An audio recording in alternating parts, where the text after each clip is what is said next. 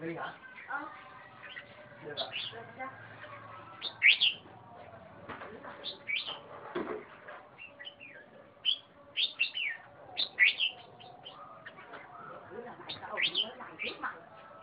Mà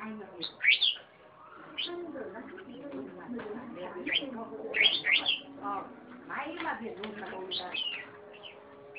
Nói rồi. Dạ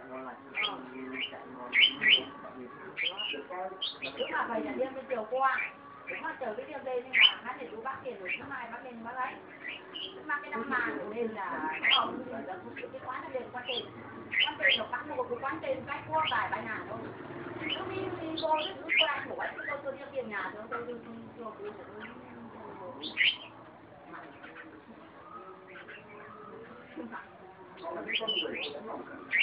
là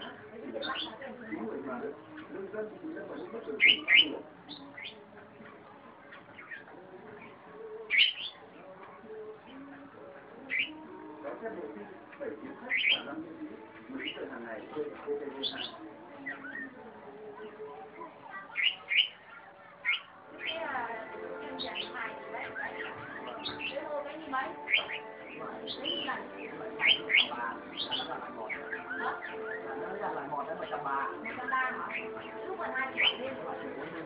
Như là cái nào đã chung là cân đôi trong nhà mình đấy, mà không mà ngoài trời.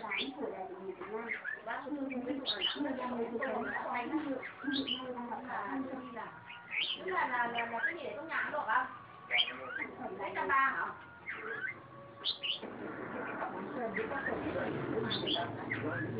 Bây giờ